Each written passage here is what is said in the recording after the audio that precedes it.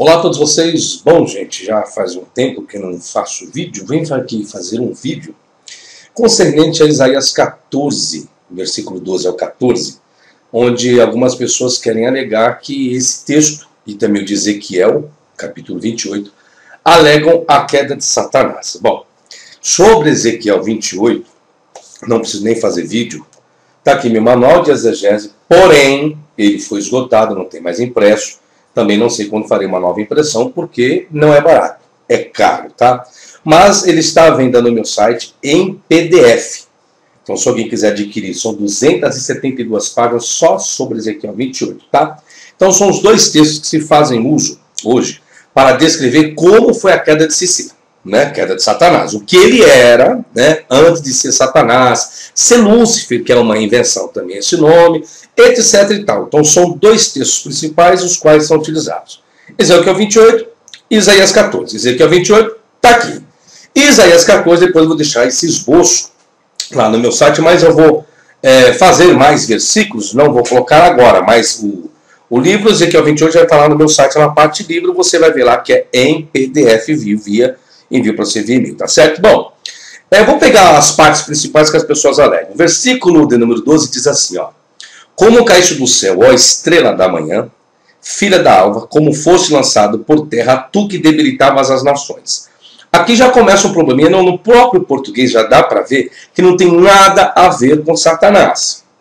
Primeiro, se ele caiu, aí vem a pergunta: ele caiu antes da humanidade ou após a humanidade? Por quê, professor? Porque diz que ele debilitava as nações, ou enfraquecia as nações. Mas que nações eram essas? Quais eram, eram essas nações? Isso eu estou fazendo uma análise do português, tá certo? Bom, aí diz que, é, ó, estrela da manhã, filha da alva. Aí eu fui buscar isso no hebraico, coloquei até a oração aqui em hebraico. Aí na Bíblia hebraica, shahar, que é o vocábulo que existe, é, está aqui, ó, deixa eu pegar aqui, ó, Reiler ben shahar, então filha da alvorada, tá? Filha do alvorecer, da alva do amanhecer. Aparece em uma variedade de prosa, em textos poéticos 23 vezes, em três nomes de pessoas, um nome de lugar e a inscrição de um salmo. É possível que alguns desses foram entendidos como alusão a uma divindade, a uma divindade. O cognato de Shahar ocorre como um nome divino em ugarítico, e aí onde eu fui me deparar. Porque o texto hebraico ou hebraico não é a língua mais antiga do mundo, senhor, não é. Ah, quem estuda sabe disso. O ugarítico antecede o hebraico a quem de distância. O cognato acadiano, que é outra ramificação semítica, registra cheiro, pode referir-se à estrela da manhã, e como tal ocorre como uma divindade em vários nomes pessoais. Exemplo, Shirum Malik, Shirum Tukulti, Shirum Ili. Vários nomes que existem. Bom, o vocábulo ugarítico shahar é utilizado com o significado de alvorecer, alvo, amanhecer. Às vezes também se refere à estrela da manhã, como uma divindade, como se vê na lista dos deuses em registros ugaríticos. Então, existem vários deuses dentro desse poema aí, que no caso é Isaías 14, 12. Isso se trata de um poema, de um canto fúnebre, é o que existe ali, tá? Bom, continuando o raciocínio.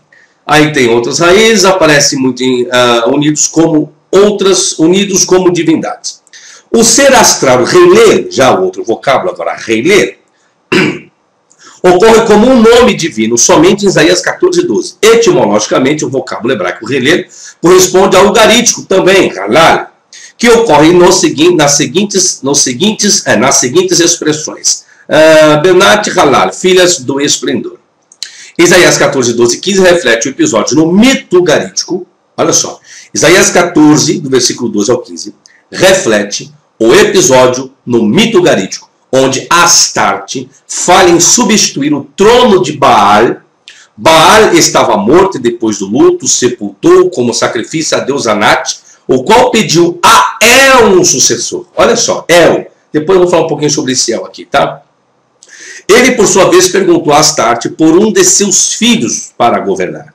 Então Astarte foi para as alturas de Tsafon, depois vou falar o que é Tsafon. Tsafon tem no próprio texto, aí no versículo 13 aos lados do norte, tá? Se não sabe, você vai saber hoje. E sentou-se no trono do mais poderoso, que é Baal. E Astarte foi, uh, e Astarte falou: Eu não posso ser rei nas alturas de Tsafon. Assim desceu e tornou-se rei sobre toda a terra, ou talvez ou submundo. Registro é o KTU, que é de Lorenz, tá? Que são os achados garíticos de, de Irachana. Versículo 13 diz assim: E tu dizias no teu coração: Eu subirei ao céu, acima das estrelas de Deus. Aí você tem que saber: esse Deus, esse vocábulo Deus, é a tradução de qual vocábulo hebraico? É uma questão que deve se perguntar também, tá? Exaltarei o meu trono e no monte da congregação me assentarei da banda dos lados do norte. Que norte é esse? Lá no céu existe agora, lá? Norte, sul, leste, oeste. Vamos continuar, vai. Subirei acima das mais altas nuvens, serei semelhante ao Altíssimo. Quem é esse Altíssimo? Quem é o Deus que vocês acreditam, esse Deus da Bíblia? Será que é isso? Bom, vamos analisar então algumas expressões. A expressão acima das estrelas de Deus. Nos textos mitológicos, mitológicos, El, que é o que está descrito aí, acima das estrelas de Deus, o vocábulo Deus aqui é El, tá? El, eh, bom, outra questão também, quem quiser saber sobre El, Elion, Tetagrama, tá aqui, ó. O meu livro está aqui, ó. Yud Rei Criação de Homens ou Divindade. Isso aqui eu provo para vocês. Essa questão do tetagrama, se o tetagrama é o nome realmente de Deus, qual a pronúncia correta do tetagrama dentro do paleo hebraico. Bom, gente, o material está lá no meu site disponível. Então, eu não preciso estar explicando tudo, porque você já tem tudo explicado aqui nos meus materiais, tá? Então, você quer saber sobre El, tetagrama e tudo mais, essas criarro, essas coisas, tá tudo aqui, beleza? Bom, continuando. No senso mitológico, é descrito frequentemente como o pai dos outros deuses, outros deuses. Ele não é Deus único e soberano. Existem outros, tá? Então, no textos mitológicos. Esse registro mitológico antecede os escritos hebraicos, tá? Além disso, ele é chamado no épico de Keret de Ab Adam, pai da humanidade. Então, se você quiser saber o que é o épico de Keret, basta você ir lá no KTU e pegar o registro lá do ciclo de Baal, você vai ver o épico de Keret lá, tá? Obviamente porque ele era o criador da humanidade, só para você ver quem é El. No Monte da Congregação, pode originalmente ter significado uma tenda para os deuses, embora os hebreus viessem a ter um significado muito diferente. E pode ter tido uma ligação com a concepção babilônica da montanha onde os deuses se reuniam para determinar os destinos. Tudo tem uma ligação, tá? Vou continuar. Dos lados do norte, aqui vocês vão entender um pouco desse assino para vocês verem como é. É tudo mitológico, não tem nada a ver com queda de Satanás.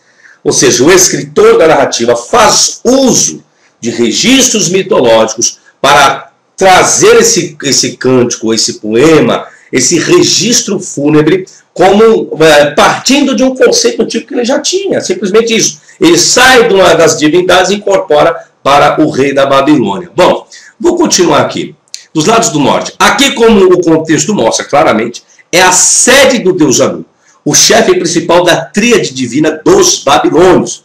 Tinha o seu trono nos céus e foi particularmente localizado no céu ao norte. Essas no, nota aqui número 7 são as referências bibliográficas que estão aqui, tá? Então está aqui, ó, os registros 6 e o registro 7. Está tudo aqui em inscrição de onde eu obtive essa informação, tá? Nada eu trago da minha ideia, como muitos estão fazendo por aí. Nada da minha cabeça. Aqui é com, com pesquisa e comprovação bibliográfica. Bom, Safon, o que é o norte? Norte, em hebraico, vai pegar o texto hebraico, vai estar lá o vocábulo Safon. Está lá. Agora vocês vão saber o que é norte, o que é Safon. É atestada Primeiramente, primeiramente, o vocábulo norte, ou tsafon, que está no hebraico, é atestado primeiramente, não é na Bíblia hebraica, senhores, é em textos ugaríticos, com uma designação para Jebel Arca, ao norte de Ugarit, tá? 40 quilômetros ao norte de Ugarit, Jebel, com altura de 1.770 metros. A identidade de Jebel, como Tsafon, nos textos ugaríticos, proposto pela primeira vez por Ace Feld, é unicamente aceito. Seu pico, seu pico, sendo muitas vezes encoberta com nuvens, vamos falar, subirei acima das mais altas nuvens. Quando fala das mais altas nuvens, está se referindo justamente ao que? A Safon, ao, ao monte, à montanha, onde o seu pico era coberto com nuvens. Vamos continuar a leitura aqui. Safon foi considerado como uma montanha sagrada nos textos mitológicos e rituais de Ugarit. Tá aí. Então ele faz a descrição do que era uma reunião onde os deuses ficavam em Safon. Isso dentro dos mitos antigos. Só você pegar o KTU você vai ver toda essa relação dessa grande mitologia. Continuo. Na lista dos deuses de Ugarit, Safon, Safon, ou lá do norte, Zafon, conforme está no texto de Isaías 14, 12. Deixa eu pegar o texto aqui só para vocês verem aqui. Isaías 14, 13. Aqui, gente. Vamos pegar aqui, aqui, ó. Safon. Tá aqui, ó. Aqui embaixo. Deixa eu subir um pouquinho aqui, ó. Aqui. Safon, tá? Tá aqui o texto. Dos lados, extremidades, aqui, ó. Norte, tá? Safon. Seria o norte aqui, tá? Esse é o Isaías 14, 13, o texto em hebraico. E aqui é o comentário de Onkelos, o Targum, tá? Targum de Onkelos, aqui é a Septuaginta. Aqui é a versão em inglês. Desculpa, que é descoberta de Qumran. Ah, é o texto aqui em inglês de, de King James. E por aí se vai, tá? Voltando ao raciocínio lá. Bom, na lista dos deuses, o de Safão é considerado como uma, como uma divindade. Então é apenas lado do norte. Então tudo é uma divindade. Ou seja, Reiler é uma divindade. Tá? Shahar é outra divindade.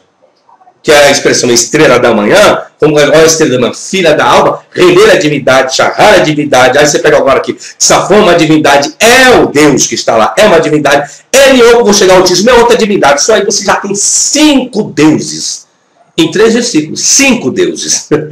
Apenas cinco, tá, senhores? E não tem nada de Satanás ali, mas continua. E assim o direito de receber ofertas, como os textos rituais mostram. Na tradição mitológica ugarítica, o monte de Safon recebe sua santidade do palácio de Baal, construída sobre o seu pico. KTU, está aqui a sequência, a referência bibliográfica. Quase sempre nos textos mitológicos, de Safon é mencionado juntamente com Baal, porque Safon é a sua morada divina. Tá? E está aqui toda a referência bibliográfica concernente a essa afirmação. Bom, aí o versículo 14 diz assim, ó. Subirei acima das mais altas nuvens e serei semelhante ao Altíssimo. Esse Altíssimo aí é Elion, se você não sabe, tá? vamos pegar o verbo derivado de Elion. O vocábulo Elion, derivado do verbo hebraico alá, que significa subir, Elion, no Antigo Testamento pode ser usado tanto como adjetivo descrevendo algo que é espacialmente, espacialmente mais elevado do que qualquer outra coisa, ou como substantivo, usado principalmente em referência à divindade mais alta. Tá? Então, pode dizer para vários deuses. Como nome divino, Elion aparece em associação a outras formas divinas, em combinação com outros nomes divinos também, ou em associação com elementos divinos menores, tá certo? Na Septuaginta, Elion é traduzido para ipsistos. O vocábulo Elion é atestado em outros textos do Antigo Oriente Médio, como aramaico, fenício, garítico e grego, como elemento teofórico. Elion também pode ser rastreado em nomes pessoais sul-semita, tá certo? Então está aí, senhores, é, eu fiz esse pequeno estudo aqui, concernente a Isaías, trazendo o quê? Trazendo a relação do vocábulo Shahar, vocábulo Reiler, vocábulo El e Elion. Só nesses três versículos, totalmente mitológico. Apenas uma adaptação que o escritor faz, mas um texto que não tem nada a ver com queda de Satanás, de diabo, de Lúcifer. Tanto que a expressão Lúcifer, para quem não sabe, onde é que ela apareceu? na expressão na Vulgata Latina. Vamos pegar aqui, versículo 12. Aqui onde vai aparecer a palavra luz, senhores. Bem na Vulgata Latina, quer ver? Aqui, ó. Como caíste do céu a estrela da manhã, né? Aqui, ó. Como você se disse, decaiu Lúcifer, aqui, ó. Essa palavra Lúcifer. Aí que ela surgiu. Por, por quem? Jerônimo. Então aí todo mundo, é porque Lúcifer é o nome do diabo. Não, isso aí não é nome de diabo, coisíssima nenhuma. O texto não fala nada da queda de Satanás, nem Isaías 14, nem Ezequiel 28. Ezequiel 28 aí são 272 páginas, provando que não tem nada a ver com queda de Satanás. E só apenas três versículos eu fiz um esboço aqui rapidinho, esse vídeo curtinho, já trazendo a, toda a construção mitológica que também não tem nada a ver com Satanás, apenas uma adaptação de registros lá de Ugarit. Tá certo, senhores? Então não se esqueça, tá aqui, ó, quer saber sobre nomes de Deus, tetagrama? Está aqui lá no meu site, www.professorfabiosabino.com.br. Quer saber sobre Ezequiel 28? Está aqui, ó, Manual de Exegese, tá?